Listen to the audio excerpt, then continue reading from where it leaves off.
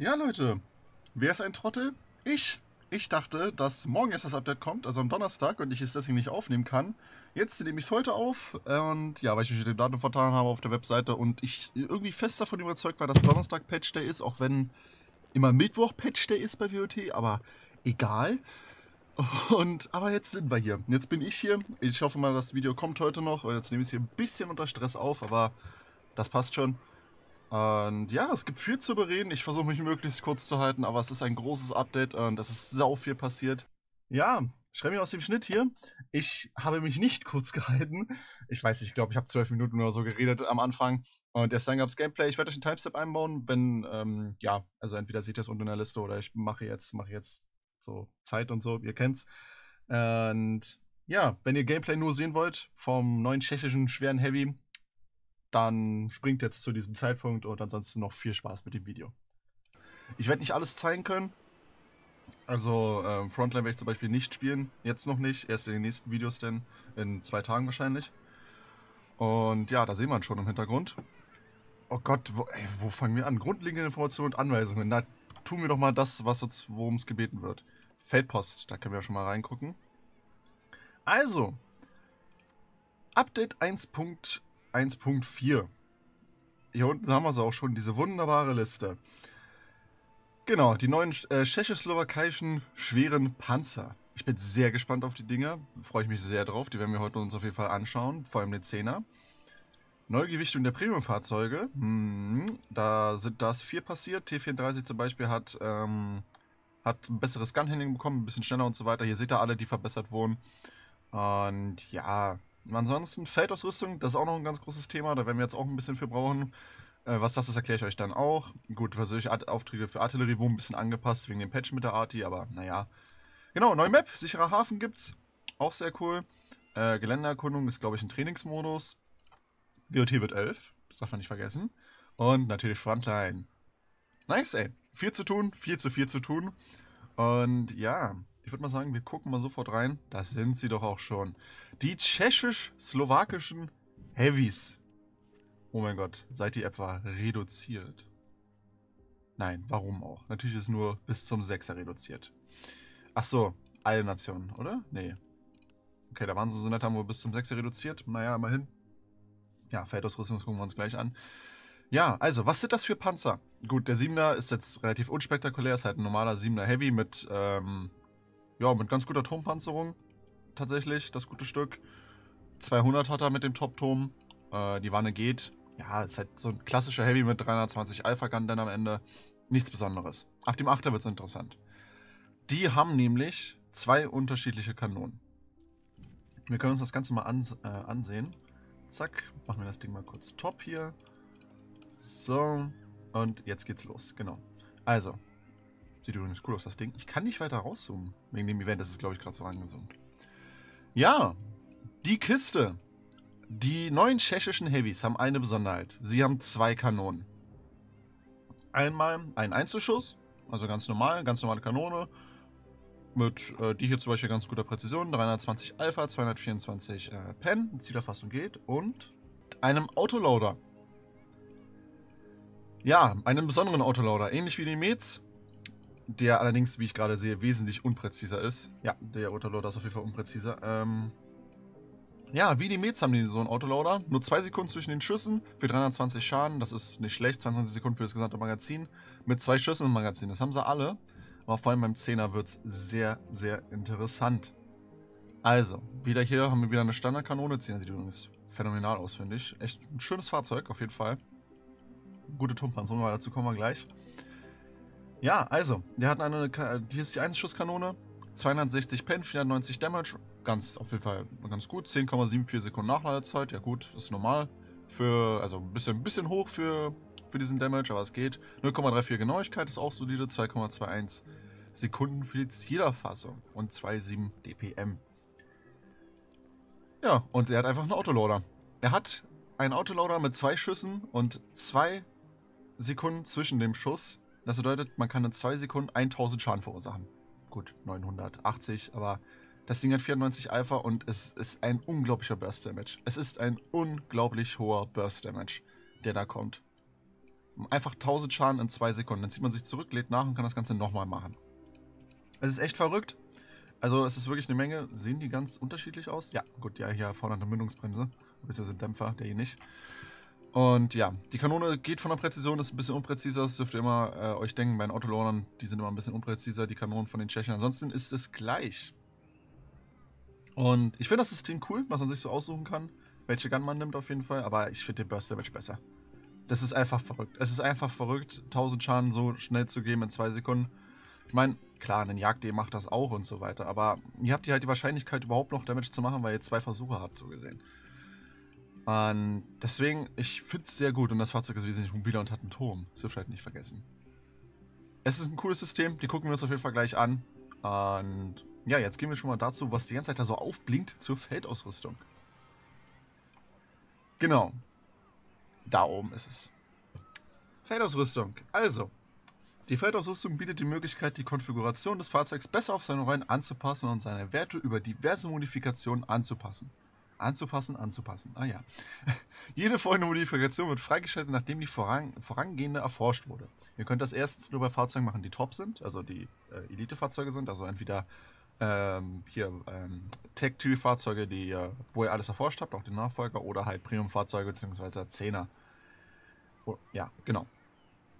Also, zweiter Punkt, Modifikation erforschen. Genau, ja, hier habt es ja für ah, Stufe 6 und Stufe 10 noch für, äh, äh, verfügbar, die den Elite-Status erreicht haben.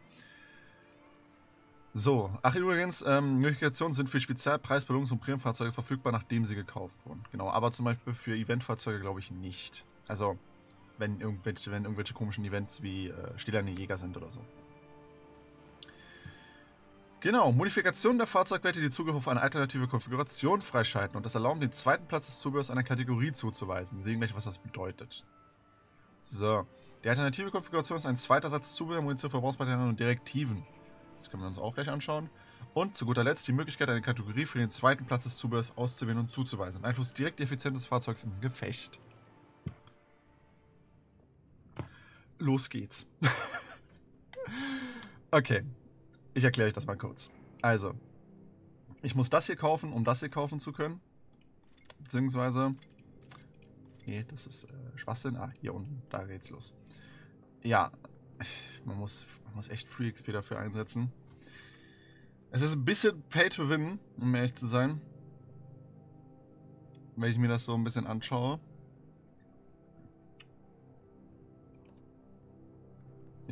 Ja, ja, ja, ja, ja. Okay, okay, okay, okay, okay. Es geht, es geht auch mit der Erfahrung, die auf den Panzern drauf sind. Das ist immerhin ganz praktisch. Ich habe ja 21.000 Erfahrungen drauf, immerhin. Aber egal, ich zeige euch mal kurz, was, was damit jetzt gemeint ist. Also, ihr seht hier diese Punkte. Genau, ich müsste 56.000 Erfahrungen äh, ausgeben, um überhaupt das hier freischalten zu können. Ich erkläre euch jetzt mal kurz, was das bedeutet. Also, ihr habt hier zwei Sachen, die unterschiedliche Werte hinaufsetzen oder verringern. Einmal, zum Beispiel hier bei dem guten STB, Wendegeschwindigkeit der Wanne, Geschützrichtgeschwindigkeit. Also ihr dreht euch schneller und das Turm, äh, der, das, das, das Turm, genau. Und das Geschütz richtet schneller, also ihr aimt schneller ein. Beziehungsweise, beziehungsweise, doch, der Turm dreht sich schneller. Ähm, schneller einaimen ist das nicht, sorry. Ihr habt da die Werte, hier rechts seht ihr das schon, was sich verändert. Dafür allerdings habt ihr einen höheren Malus, wenn das Munitionslager bzw. der Motor beschädigt ist und die Streuung mit beschädigtem Geschütz ist auch noch höher. Ehrlich zu sein, das stört, das würde mich gar nicht so sehr stören, weil man die Sachen eh eigentlich immer repariert. Klar ist man dann sau langsam und so weiter, aber ein bisschen mehr Wendegeschwindigkeit und so weiter ist eigentlich ganz cool dafür. Oder ihr macht es, ihr dreht es um, ihr habt einen geringeren Malus auf beschädigte Munitionslager und Geschütz und so weiter. Aber dafür eine höhere Wendegeschwindigkeit und Geschützgeschwindigkeit. Das ist immer gespiegelt. Versteht ihr?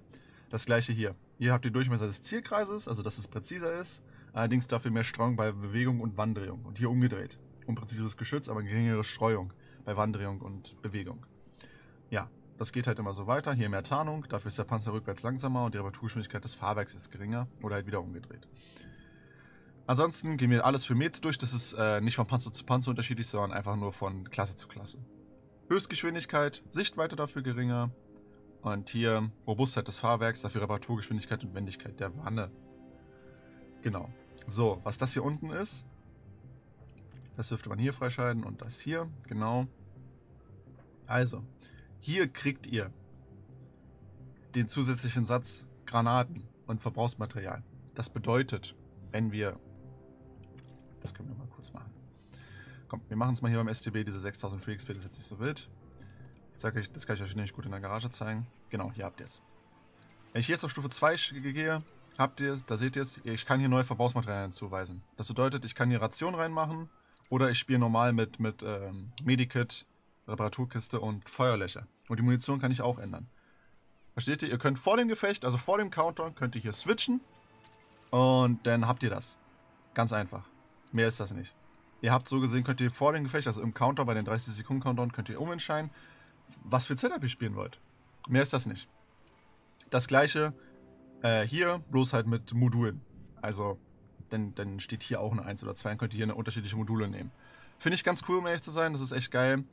Und ja, genau. Und was das hier nochmal ist, ach ja, stimmt. Das hier war nochmal, dass man hier, ähm, ihr seht es ja hier gerade, die Fahrzeuge haben ja immer, genau, das war das, glaube ich. Die Fahrzeuge haben immer hier so einen, so einen Punkt, Beweglichkeit, dass es da verbessert wird. Und hier kriegen sie dann noch einen Punkt. Also nochmal so, so, ein, so ein verbessertes Modul. Ihr versteht ja hier, die haben ja so verschiedene Symbole, die Module. Und wenn ihr das immer auf den ersten Platz zieht, wo das Symbol übereinstimmt, dann hat es besseren Bonus. Wenn ich jetzt wechsle, ähm, also die Lüftung zum Beispiel nach links packe, klar, die kriegt dafür auch einen besseren Bonus, 6% auf Übersetzungsfähigkeiten, oder ich packe den Turbolader halt nach links. Und ihr gibt dann 5 km/h mehr Höchstgeschwindigkeit anstatt nur 4. So, und das kommt dann hiermit noch dazu, wenn ich es richtig verstanden habe. Ja.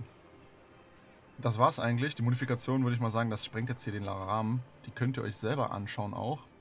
Genau, äh, ich habe das noch ab Stufe 9 und 10, das kann ich euch noch sagen, schaltet ihr halt immer mehr frei. 6 haben halt nur hierzu Zugriff und dann geht es halt immer weiter. Genau. Und ansonsten, ja, bei den Heavys gucken wir uns das gleich nochmal an, weil ich mir gleich den Tschechen Heavy ja hole. Und dann, ja, gucken wir uns gleich noch den tschechischen Heavy an und dann sehen wir uns endlich im Gefecht, nachdem ich zwölf Minuten nur so locker gelabert habe.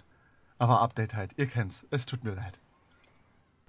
Ja, ich habe dann doch nicht mehr ganz so viel Geld, um, beziehungsweise habe jetzt keinen Bock, so viel Geld dafür auszugeben.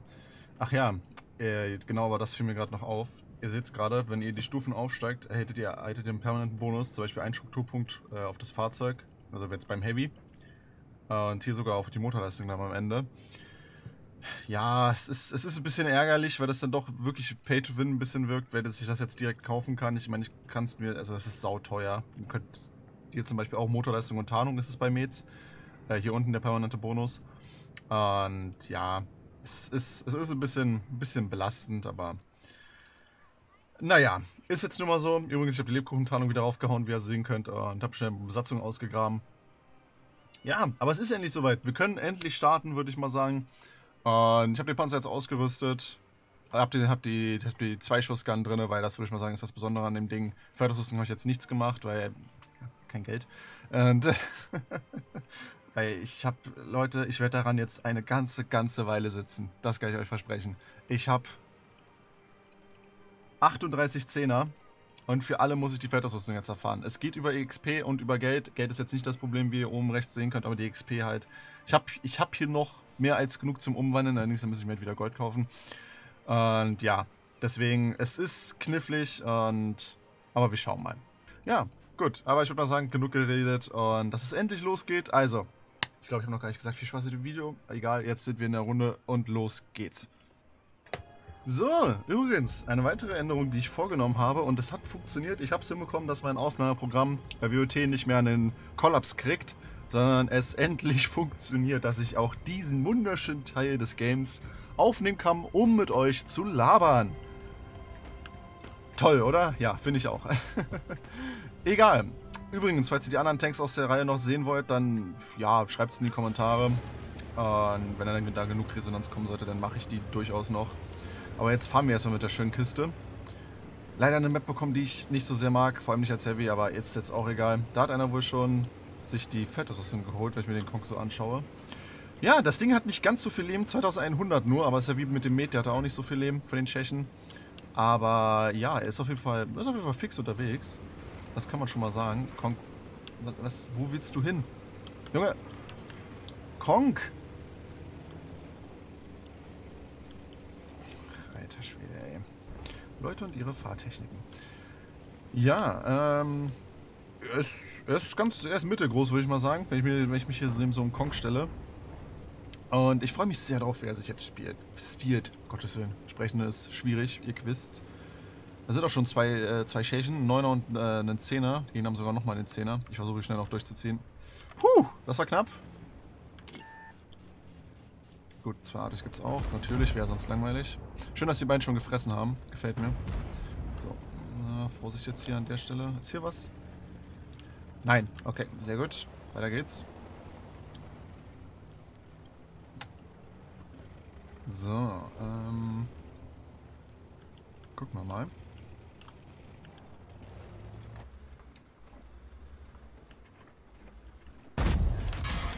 Schade, der ist auch durchgekommen. Einschuss habe ich noch, mein Guter.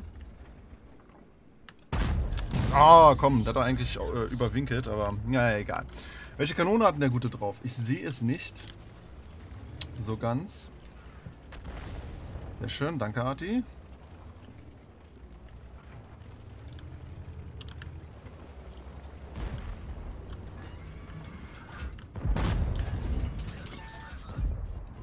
Oh, ist das geil. Genau das meine ich. 1027 Schaden easy in zwei Sekunden. Boah, nice, ey. Nice, nice, nice. So, jetzt laden wir mal kurz nach, aber kurz, ich hätte direkt vorfahren sollen, wenn ich mir das hier so ansehe. Wie die Herrschaften hier schon anfangen zu fressen. Ja, vielleicht kriege ich da noch einen Schuss rauf. Gut, auch nicht. Hm, mit E75 hätte ich schon noch gerne ein bisschen was. Ich weiß, warum steht die ist, aber nein. Panzer drehe ich doch jetzt nicht hoch. Oh Gott! Genau das meine ich da umstehende TDs. Der WT ist irgendwie abgeprallt. Das war ein richtig komischer Abpraller. Gottes Willen. So, hallo E75. Bist du tot? Ist das geil. Es ist das geil. Boah, macht das Ding einen Spaß. Ich sag's euch ehrlich. Das ist, das ist göttlich, wirklich. Nice, nice, nice. Und nochmal nice. Ein sehr cooles Gefährt. Das ist der 700er WT auf Panzer 4. So, er frisst auch schon. Ähm, oh Gott, nein, ich bin offen. Ich habe ein bisschen Schiss vor dem Bärt. Vor allem, mir fällt gerade auf, der könnte jetzt da stehen. Das wäre schlecht. Vor allem die Art, die kann jetzt, glaube ich, echt ganz gut auf mich wirken. Das wäre, glaube ich, auch ein bisschen suboptimal. Ja, wir brauchen jetzt hier irgendwie ein bisschen Aufklärung. Ja, dann geht's auch schon los. Ich fahre jetzt auch hinter den Stein. Sollte sie mich erstmal nicht mehr treffen können. So, rückwärts, rückwärts, rückwärts. Nice, okay. Ja, hier sollte ich ja artig safe sein auf jeden Fall. Drehen wir uns mal so rum, falls die, falls die da hinten die TDs aufmachen sollten. Na, na los, komm. So, du schönes Ding. Oder den kleinen Racker. Ah, schade. Ja gut, da war der Bullet Drop echt krass. War ja klar bei so einem Geschütz. Müsste ein 130er ja sein. 130 mm.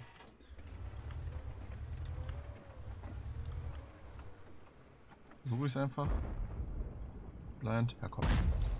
Ah, schade. Er hat ein bisschen höher ziehen sollen, fällt mir gerade auf. So. Ich habe einen Auftrag? Ach ja, Captain. Äh, äh. Weil ich 55 A schon habe, aber... Äh. Äh, sieht leider nicht so gut aus mit der Runde, wenn die Runde jetzt schon echt Spaß gemacht hat, weil dieses Geschütz, das ist... Oh, oh ich komme gar, nicht, komm gar nicht raus aus dem Schwärmen. So. Hm, was tun? Was tun? Äh, ja, Wandpanzerung ist von dem Ding nicht so gut, auch wenn ich an der Oberwanne einen Abpraller habe, sogar an der Unterwanne. War wahrscheinlich ein blöder Winkel. Und der hat natürlich da auch einen riesen Weakspot auf dem Turm. Mit dem Cupola auf der Seite, da, den da.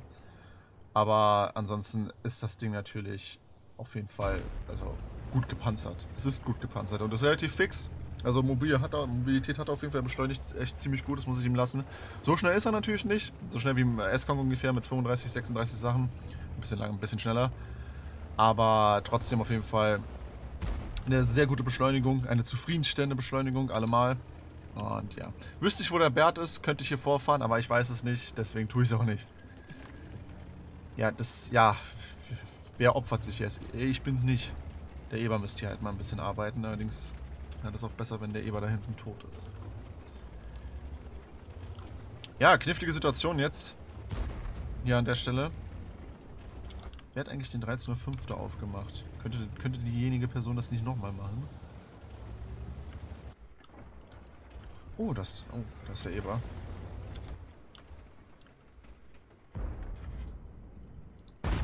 Jawohl. Na schade. So mit etwas Glück wollte ich noch vielleicht den anderen Schuss treffen. Ist ein 13.05. der Heat schießt. Oh, nice. Der WT ist tot. Schon mal sehr geil. Wenn der Eber jetzt noch sterben könnte, dann wäre das noch geiler. Aber ich glaube, er will nicht so recht sterben.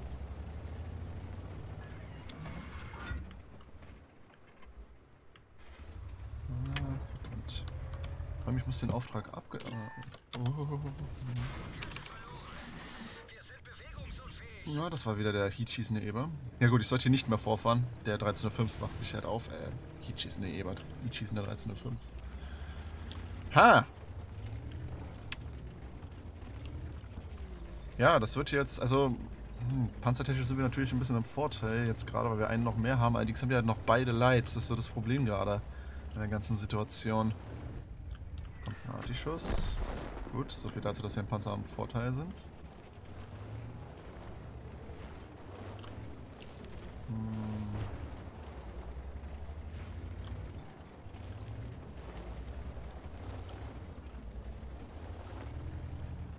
unser Eber darf halt auch nicht sterben. So, das ist halt auch die Sache. Er muss aufmachen, aber er darf halt auch nicht sterben, weil sonst ist die Runde durch. Das ist jetzt halt so ein Gekämpe. Okay, okay, okay, okay. Moved. Ah, komm noch ein bisschen. Ja, und da ist er tot.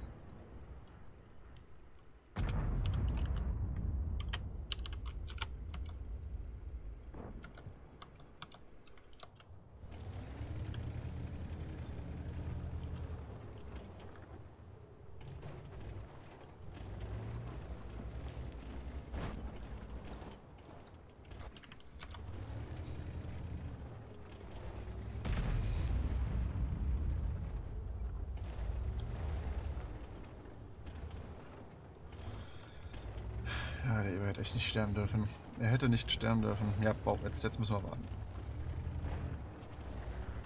Okay, nice. Das ist schon mal wichtig. Immerhin ist der Jagd, äh, Jagdtiger, genau. Immerhin ist der Eber jetzt gerade beim Jagdtiger gestorben. Das ist schon mal sehr, sehr wichtig. Aber der 13.5 lebt halt immer noch. Ah, was machen wir? Wie machen wir das vor allem? Wir müssen warten, bis die Gegner einen Fehler machen. Es geht nicht anders. Wir müssen warten, bis die Gegner einen Fehler machen.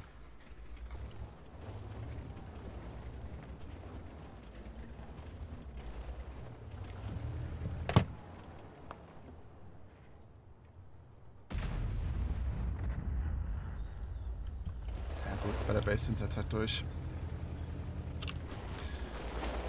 Ich kann versuchen zurück zur Base zu kommen. Der Bert ist offen. Ich bin offen. Oder? Ja.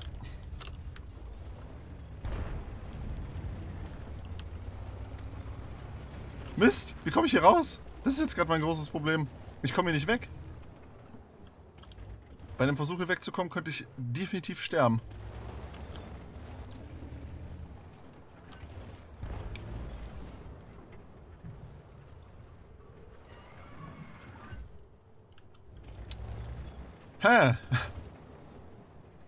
Ja, wir müssen jetzt hoffen, dass da... Okay, okay, okay, okay, okay, okay.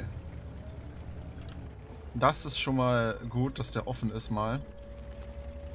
Komm schon, Grille, zeig mir deinen Skill und töte den. Ich komme hier halt nicht raus, wegen dem STB-1. Die hat auch noch einen Full-Life Progetto 66, ey. Ich hoffe einfach, dass der AFK an der Base rumsteht. Das ist der Wert wieder. Rückwärts, rückwärts, rückwärts, rückwärts, rückwärts, rückwärts, rückwärts. Warum aim ich nicht hin? Ich bin nicht aufgegangen. Oder ich war noch offen, eins von beiden. Soll ich es versuchen? Ich habe die Grille nicht als Deckung. Wenn ich die Grille jetzt gleich als Deckung habe, dann könnte ich versuchen vorzufahren. Da ist der Progetto. Und der ist nicht AFK. Ach, come on. Ja, die sind jetzt das Riesenproblem. Nein, was mache ich? Okay, die kleine Gun. Ist schon mal cool.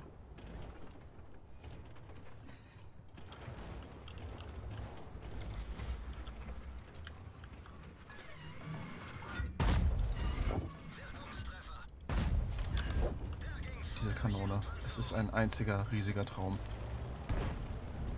Ehrlich. So, mal nach. Gut, Grill ist tot. Das war's denn jetzt wohl. Na komm, versuch's WT, sonst hol ich ihn mir. Sehr schön. Okay, da hier die Grille jetzt eh tot ist, kann ich es jetzt auch gleich eigentlich versuchen. Ich warte noch mal kurz ein paar Sekunden unter dem Stein.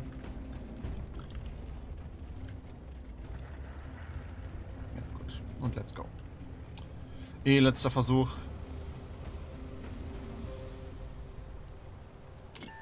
Ah, scheiße. Oh, der Steuerung hat sich verlegt, das ist uncool. Schuss. War alles gut. Der Bert ist und bleibt ein Problem. Der Bert hat geschossen, okay. Na, komm mal her. Na gut, STB kommt von hinten leider dran. STB sollte jetzt so nicht mehr von hinten rankommen. Aber der Bert. nice, er war noch ein bisschen, ein bisschen Spot-Damage bekommen. Schade, ey. Schade, dass wir die Runde verloren haben. Ach gut, unser Arti geht sich versenken. Ich verstehe mal noch nicht, wieso man sowas macht. Und faire Spielweise.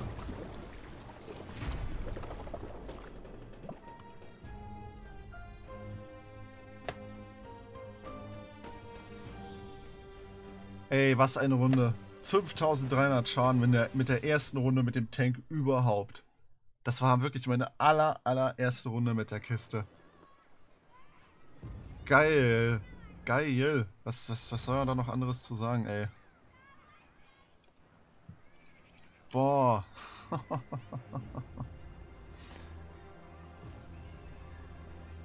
ey, nice. Einfach nur nice.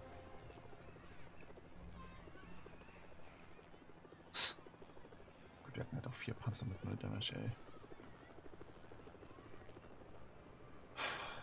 Ja, am Ende haben es die Lights dann doch gewonnen bzw. verloren, weil wir einfach keine Sicht mehr auf die raufbekommen haben. 5200 Schaden, ey. War ich Top Damage im Game auch? Ja. Ist das ein Monstrum?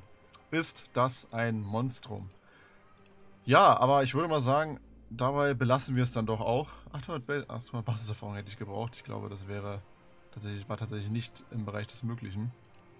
Nee, ja, nicht mal ansatzweise. Ja, aber wie gesagt, dabei belassen wir es dann doch mal lieber.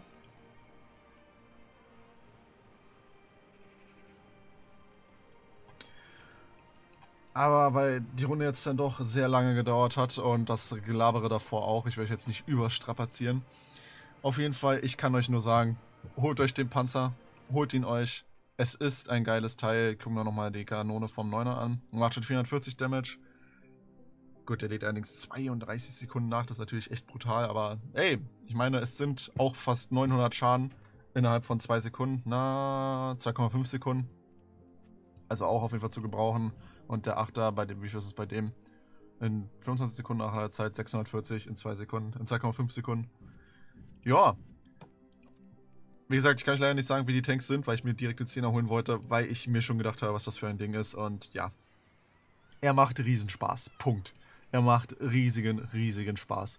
Holt ihn euch, das Ding ist geil. Und ja, ich hoffe, euch hat das Video gefallen, auch wenn das eine Loose-Runde war, war sie ja trotzdem auf jeden Fall zufriedenstellend. Und hier, ich kann es euch nochmal zeigen, dass es tatsächlich die erste Runde war. Da, ein Gefecht mit der Kiste, 5200 Schaden.